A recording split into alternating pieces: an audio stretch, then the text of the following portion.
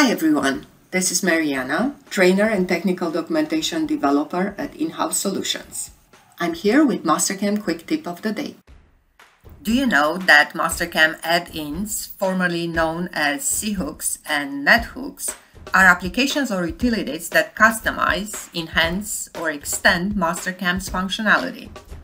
Anyone, CNC software, Mastercam dealers, and users can develop an application that runs with Mastercam.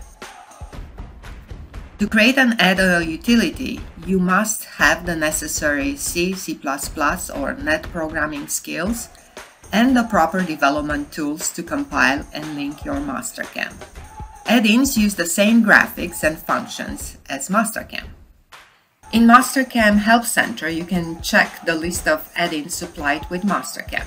The add-ins are divided in groups based on their functionality. Input utilities, wireframe geometry, surfaces and solids, toolpath utilities, posts, machine definition and control definitions utilities, as well as screen and views utilities. And of course, support utilities such as control definition compare. For each of them, you have a short description of what they are uh, doing for you. For example, break circles will break full circles into smaller arcs.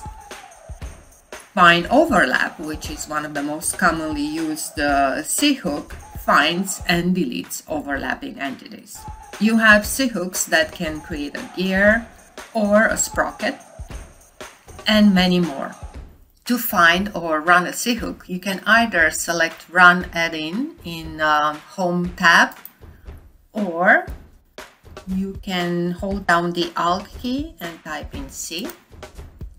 Both of them will open the C-hooks directory, and you can select the C-hook that you want to run. This concludes the quick tip of the day. Thank you for watching.